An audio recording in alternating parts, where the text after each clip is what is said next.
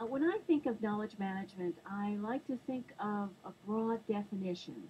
That is knowledge sharing, communicating what we know to each other, managing those objects that we create like papers, books, reports, videos, and creating an environment that makes knowledge sharing easy and effective.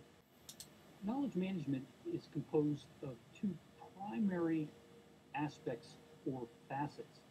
Uh, the first is gaining an understanding of what knowledge is in some organizational context.